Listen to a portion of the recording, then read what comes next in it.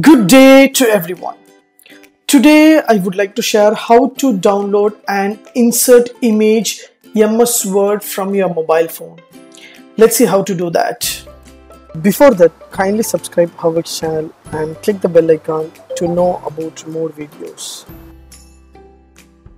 Yes, from my mobile I can open Word application and I can create a document. I can make my assignment. I can send to my school or college project or my office work. So using your mobile phone itself, you can create your own document. So without any laptop or desktop, anything else. So I have given the description link. Use the link. You know about how to use a MS Word, a clear picture click the plus button automatically your new document will be open. Just select the blank documents. So your blank documents is ready. So I can give a technology something I can give and I can type whatever I want. So now I want to bring the image from Google to document. So how to make that possible? So here I can go to Chrome browser and I can search a technology images. So whatever image I want I can search in a Google. For example, if I want to select some image, which image suitable for my document. For example, this image is suitable for my documents. I can select this image.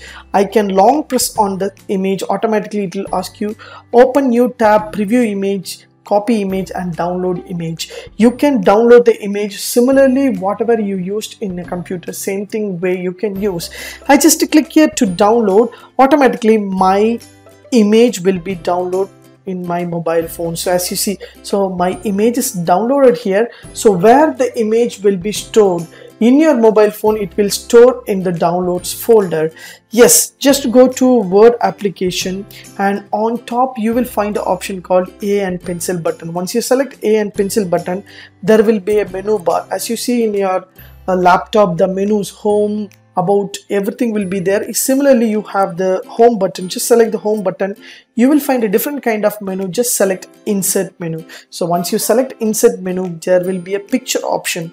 So once you select the picture option there will be a photo or camera will be available. So photo means we can direct to the download folder from there. So camera means your camera will be on. You can take on spot picture and insert there.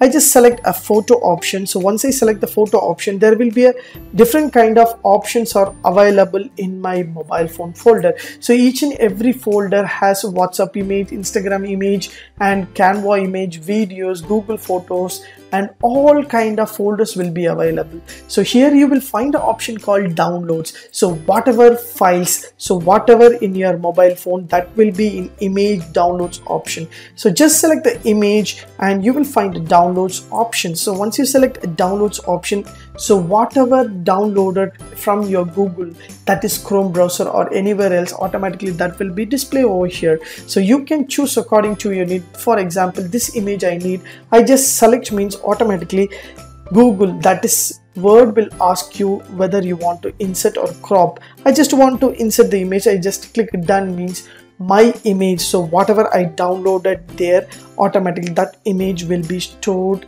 in my word document. So this is an easy step. So this is an easy one.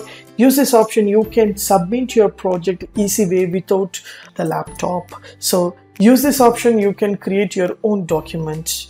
If you like this video please share with your friends. Give the like button and subscribe my HowWorks channel. Thanks for watching dear friends. Have a great and good day